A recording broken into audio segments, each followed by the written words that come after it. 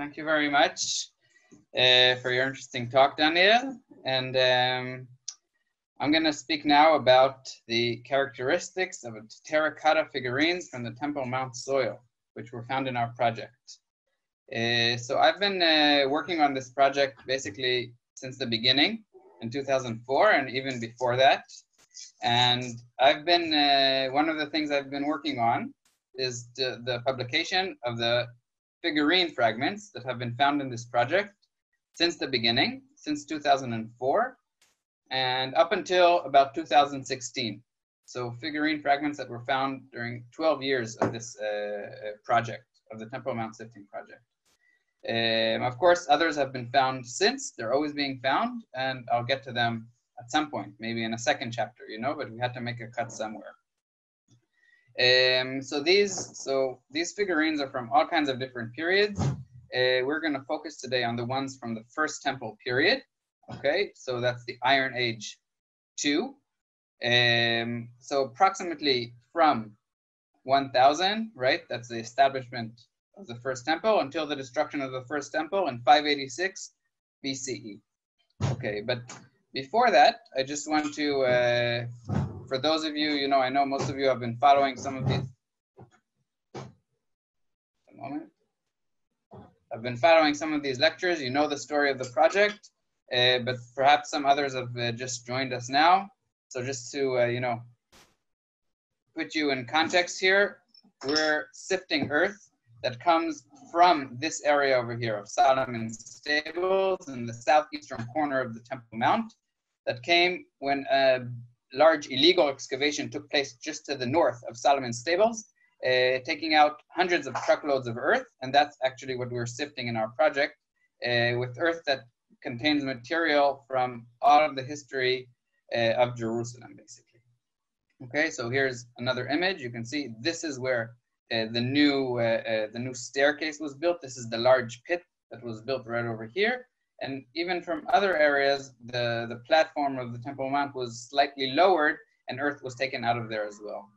Okay, these are photos, images that were taken in November of 1999 when this uh, took place. Okay, Solomon's Stables are in here. Okay, and this earth has been sifted uh, in the Tzurim Valley. Today we have a new site where things are being sifted and you can see here, this is wet sifting. Uh, so everything is put into buckets, and most of the job is done by uh, by volunteers and tourists who come and take their buckets, pour them on a on a sifter, and use uh, water and high pressure to clean the material, that which allows us to find even the smallest remains. Okay, so before getting to the Iron Age, right, the figurines that we're going to focus on today, I just wanted to bring a few images of small figurines, small little statues that were found from later periods. Okay, and some of these are undeciphered. We really don't know much about them. Uh, so you can see here a cool little uh, small marble head of a figurine. Here's a base of another figurine, which may be in Roman style. This, this one over here seems like a, a wing of an angel. Over here we have like a, a hand, perhaps holding a shaft or something like that. Here we have some hollow uh, figurines, okay? And this one is became quite famous. I think it was already published of a small little uh, um, Roman style uh, head of a goat, which may be connected to the god of Pan, okay? Um, which like is in Roman style. This one over here in the corner is a horse of Byzantine style, a hollow zoomorphic vessel, as we call them. And here in this last image, before I get to the Iron Age, you can see nice examples of early Islamic holozoomorphic vessels. Okay, these are hollow vessels, which were, uh, uh, most of them seem to be donkeys or, or horses, and they were basically hollow. So you would pour the water or liquid through one hole and then uh, pour it out through their mouth or snout.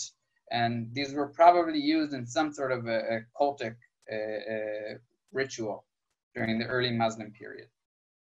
Okay, so Iron Age or Iron Age 2. So the Iron Age 2 uh, has, is well represented in our, in our project.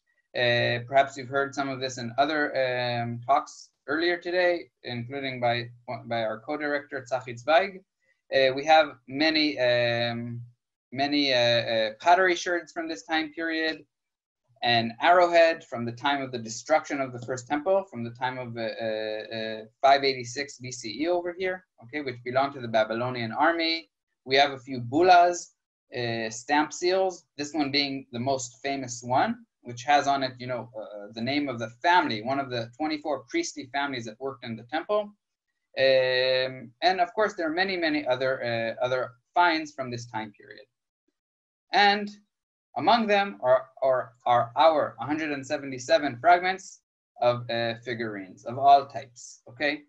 So what are these figurines in general? So this phenomena is very, um, oops, is very uh, well known in, uh, in the archaeology of, uh, of the land of Israel. Okay, um, and figurines are found in basically any site uh, that's dated to the Iron Age 2, uh, that's excavated in Judah and beyond Judah, has uh, these fragments of, um, of figurines, including in the city of David, okay, where these images are from, okay, these images just to the south of the Temple Mount, most of the uh, figurines that are found belong to zoomorphic figurines, okay, like these here on top. Uh, according to their shape of the snout, of the ears, we assume that most of them are horses. Uh, but other animals are represented as well, uh, um, cattle and birds, etc. We also have the type, the, uh, which is more rare, of horse and rider figurines, like these down over here, which basically they placed a rider which looks like a male rider, on these horses. Okay, so you can see here part of the male holding, hugging basically the neck of the horse. Okay, in this example over here, and these are two other examples of the of the rider, which was found by by himself off of the horse, basically. Uh, we have also examples of furniture, which are found like th this bed over here, examples of, of these bird figurines, and Similar to the to the holozoomorphic figurines that I showed you earlier from the early Islamic period, we have these also during the Iron Age too.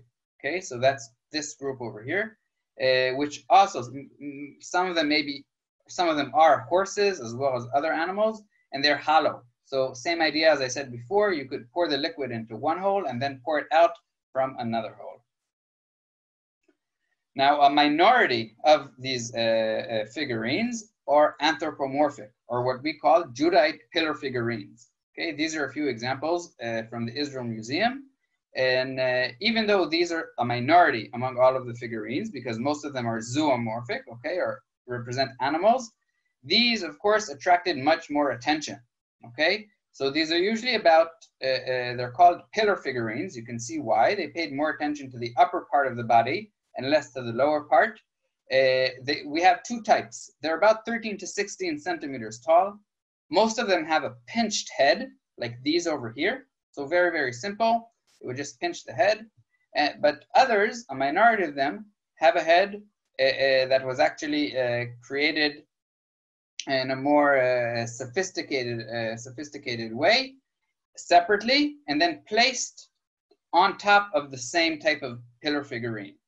You can see that they all have uh, exaggerated breasts and they're holding uh, they're holding their breasts. So these obviously these, these are women. And there are many many studies that were written about these also by archaeologists and biblical scholars trying to understand what what are what are these what do they represent okay so dealing with their identification symbolic or cultic significant significance biblical connection and how they were used okay so this is really just a very sh short summary, I would say, of the different theories out there, okay?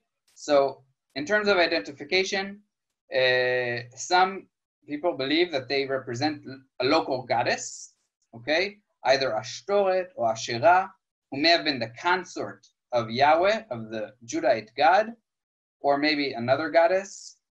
Others think that it's actually, they represent a human figure, maybe the woman herself, the woman who lived in the house, and she created an image of herself, or an image of, image of herself was created. And of course, these were tried, these were, they tried to connect these to biblical terms. Now, that's not very easy. Where no one is really sure what the biblical term for these uh, small figurines are. So we have a story or a couple of stories where teraphim are mentioned, uh, uh, which seem to be these small statues that people could carry could carry with them. Um, in terms of their use, so most people think that they had a cultic use, okay, that they were used in the private homes, mostly by women, okay. Again, and now it's not clear if this was sort of tolerated by the official religion or maybe even part of it, okay. People could maybe they went to the temple, you know, or, to the main high places to do one type or certain type of worship, but at home they had another type of worship, okay? Or was it idol worship that was really frowned upon all the time by the uh, by the centralized government?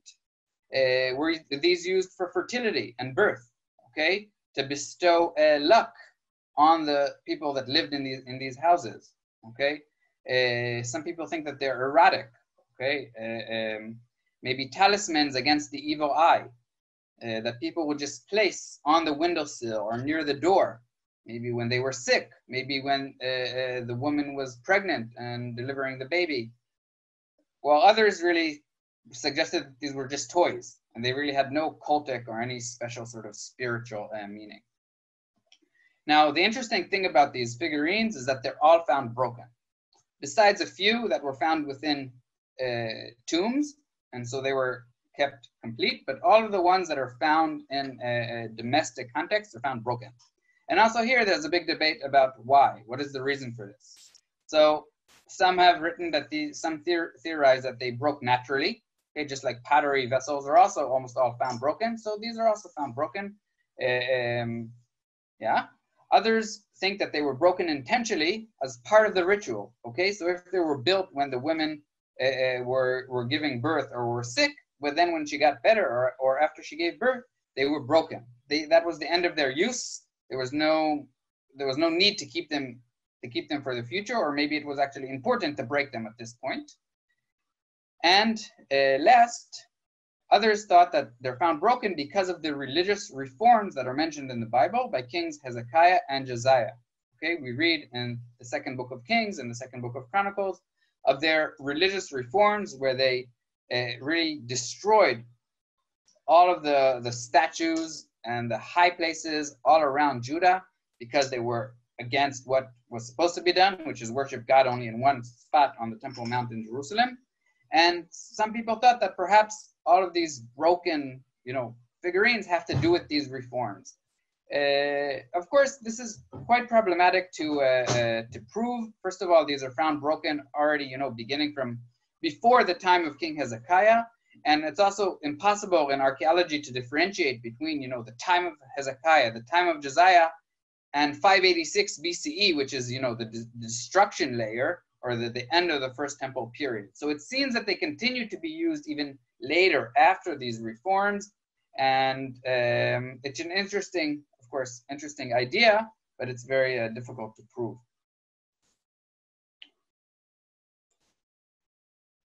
Okay. So now let's get to our uh, figure, pillar figurines. Okay, so we said that we found a total of 177 pillar figurines here.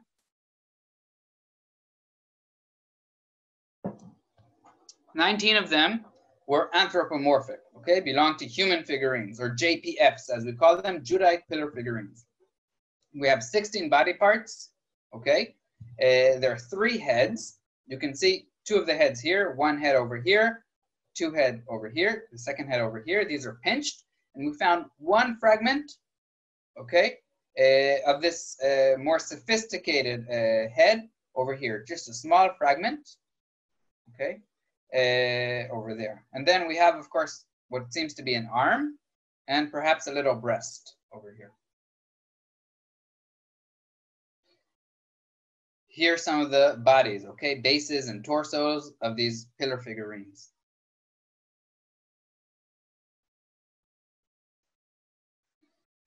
Just a moment, okay.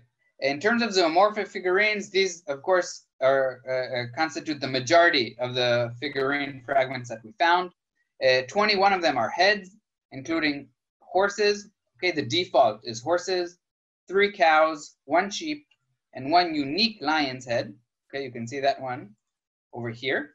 Okay, you can see uh, the small ears, this uh, uh, perhaps a mane in the back over here, the extended jaw, lower jaw in front, and we consulted with a, with a zoologist, and he agrees that this is could be a, a, a, a lioness. Okay, now there are a few other lions that were found from this time period. All were found in Jerusalem. So this is an interesting uh, phenomenon. Okay, here are some more heads. Okay, some more heads. And, oh, sorry, and here you can see two horns or ears. Okay, we found a few of these. We're the only project that discovered these because of our wet sifting process. Okay, in most other uh, projects, they don't find these. They're too small. They're thrown out, basically. Okay, here are again a few uh, torsos and, and body parts, hindquarters, forequarters, and, and necks, and of course many, many legs, okay, of these equids or horses. We have four fragments of horses and riders, okay, if you remember from the from earlier, uh, here's the neck of the horse with the hand, sort of the arm on it, holding it, and here's the, the body of a rider who was detached from the horse. We have a few holozoomorphic uh, vessels and bird figurines that we found in our project as well. Not so many, just a few of each. These are those hollow horses up here. And these are three um, birds. Okay, and this is just sort of a summary of what we found. So you can see that half of half of what we found were animal legs, okay, of the identified ones. Okay, a bunch of them, we could tell that they were from the first temple period but we, they were so small or, or, or, broken that we couldn't really determine what they're from. So we put them aside and then we summarize all this. You can see a few horses and riders. 14% of these were JPFs, the Judite pillar figurines. 15% were animals' heads and 18% were animal bodies. Okay, so that's a summary of what we found there. Keep that in mind. And now we're gonna, for a moment, we're gonna turn our attention to another site that whose earth was also uh, um, sifted in our project. Okay, this is a small site which may have been mentioned earlier also in Tzachi's lecture. Uh, what we call P56. It's on the eastern slope of the Temple Mount, down in what we call the Franciscan Garden. Okay, and in preparation for one of the Pope's speeches there, uh, there was a small excavation to try to redo some of the terraces there. And they happened upon the pit, which was full of Iron Age 2 material. And luckily, that material was brought over to our sifting site and was sifted by us, so we could find all the pieces. And um, these are, you can see, this is a representation of the figurine fragments that were found at that project. In general, they're a little bit larger, okay? They weren't moved around as much as the ones from the Temple Mount project. Okay, so we have a total of 33 fragments 14 legs, nine, uh, nine zoomorphic body parts, two ears or horns, two anthropomorphic heads, one, one pinched and one molded, and even one bed. Okay, and we, we didn't find any furniture up on the Temple Mount or up on in our project, I mean, because this is also part of the Temple Mount, okay? It's on the eastern slope. Now, here's uh, an image of some of the excavations that took place around Jerusalem and also in other parts of Judah, which have publications of the uh, figurine fragments, okay? So here's the Temple Mount soil on top. Here's the Temple Mount slope, which I just mentioned right now. The Ophel, south, the southern part of the Temple Mount. The City of David has a nice publication. The Western Wall Plaza, the Western Hill, Okay, and a few places from outside of Jerusalem include Moza, Lachish, Beersheba, Tel Ira, and of course, uh, there are others. Now, why am I mentioning also these, these other spots? Um, in the publication of the excavation at Moza, which is just to the west of Jerusalem, uh, uh, Raz Kletter, who, who published these figurines, wrote the following. At border cities, such, such as Tel Batash, the figurine assemblages are more varied. There are few exceptional pieces at Moza, which may indicate imports. The late Iron II figurines from Moza testify to the Judean character of this site, which is situated close to Jerusalem, the heart of the kingdom of Judah. So basically, he's saying that as you get closer to the heart of Judah, which is in Jerusalem, you have less imports. Okay? More of the figurines represent, if you want, pure or more uh, uh, characteristic uh, figurines that are characteristic of Judah. Okay? Now, uh, uh, Michael Press, who published um, Philistine figurines, from Ashkelon, but from other places as well. Okay, the Philistines lived by the coast. He wrote something very similar. He said that the figurine distribution reflects other kinds of sub-regional distinctions. For example, between Judite influence in the interior and its absence on the coast. So he's basically saying the, saying the same thing. As you get closer to the border with Judah, you have more Judite influence. And as you get farther, as you move west towards the coast, you have less Judite influence. Now, besides Judah, all of the nations all around Israel, okay, wait just a moment, all of the nations all around Israel used similar figurines during this time period, during the Iron Age too. However, each region or each nation had figurines that were characteristic to its area, okay, or to its region, even though there were many similarities. So for example, these are figurines that were found here you can see in Phoenicia, which is in today's area of the northern coast of Israel and Lebanon, Transjordan, today's Jordan, Philistia, and you can see some of the characteristics of these of these uh, uh, uh, figurines are different than the ones in Judah. For example, most of the pillar figurines in these nations uh, are hollow. Okay, they were made in a mold as opposed to the ones from Judah that are full. The bases are full. In Judah, most of the uh, pillar figurines, their, their faces are pinched, whereas in the nations around Judah, they were mostly made, uh, they were in a mold, okay, like these that you see over here. Now, of course, there are also differences between these different regions, but I'm not going to go into that now. I'm just telling you in general some of these uh, characteristics. Um, we have many figurines that are holding what seems to be a drum in other nations. And in Judah, that's very rare. Okay? We have a continuation in some of these nations, in some of these regions, of plaque figurines, which were very common during the late Bronze Age, during the previous time period.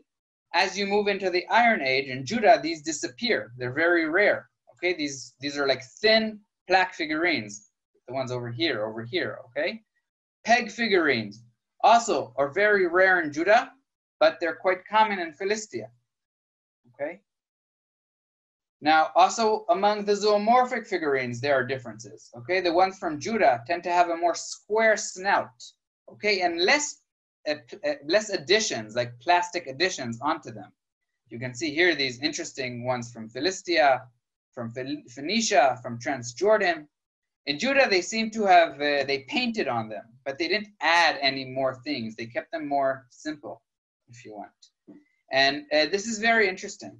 Uh, okay. These are sites from Israel, excuse me, from Judah, but uh, that are closer to the border, okay? And in these sites, you see more of these foreign influences, okay? So, like I said before, you find figurines in all Judahite sites that are excavated from this time period, okay? But as you're closer to the borders with the other nations, you have more uh, foreign influences. So this is Tel Ira in the south, okay?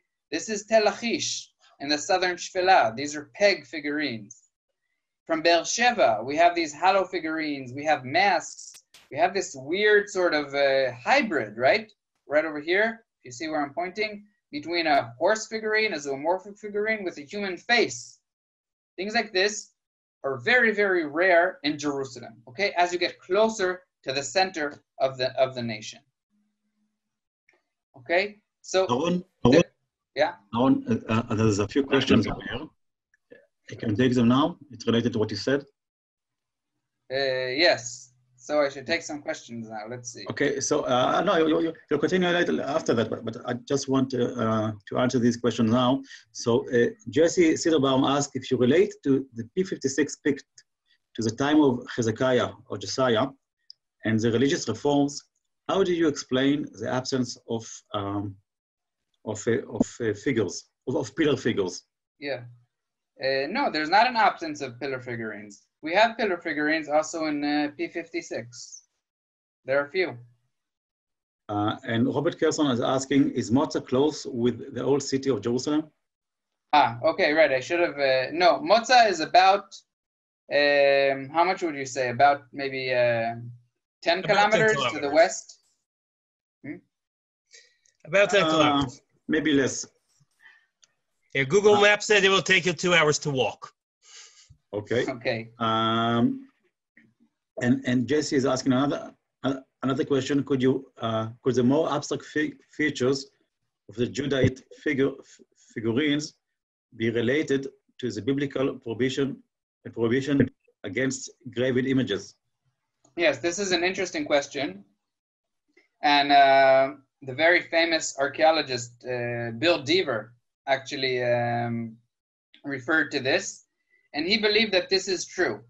This is exactly what he wrote. He wrote that, yeah, in the plaque figurines of the late Bronze Age, you really see, uh, uh, uh, you know, all of the, the women's uh, genitalia, you know, and the private parts, and it's very like erotic or very sexual. Whereas the pillar figurines during the the, the biblical time period seem to be more uh, uh, abstract and I would say less erotic. And uh, yeah, so that's that's an interesting idea that's been written about. It, it could be. Yes. Uh, That's it. You could go on. Okay. So we were just here at in the city of David, which also has some figurines with these foreign characteristics. Okay, so in, in the, the city of David has a very very big publication. They found uh, a thousand three hundred figurine fragments, and several of them were, you know, not your typical Judite ones. But okay, that's a summary. As we get back to our excavation, to P56 and the Ophel, right, which are all located actually on the Temple Mount. Okay, so our project is within the walls of the Temple Mount. The others are outside the walls, but they're still on the same mountain. We see something very interesting, okay? That the Temple Mount Sifting Project, the Temple Mount Eastern Slope, P56, and the Ophel assemblages include only the basic and characteristic Judean figurine types. The figurines all have a simple and schematic design without engraving or molded decorations. Furthermore, there are no exceptional pieces that may indicate imports from neighboring regions or exhibit foreign influences. Totally absent are hollow figure figurines, wheel-made figurines, plaque figurines, peg figurines, men figurines, drumming figurines, masks, or other unique heads. We suggest that the reason for the absence of foreign motifs within the Temple Mount Sifting Project figurine assemblage may have stemmed from an ideological rejection of foreign styles during the Iron Age too, which is manifested in the clearest way in the heart of the kingdom and the governmental center on the Temple Mount. Okay, so perhaps it was it was wasn't it was seen as not okay to use these other figurines, but they were in most places and even in Jerusalem. But as you get closer to the center and on the Temple Mount itself, okay, whether it's the temple itself or the other governmental st- structures or building or buildings around it, there it was really prohibited and seen as not okay to use these figurines with the foreign influences. Okay, so thank you very much. Okay, thank you, Aaron. Um, are there any more questions?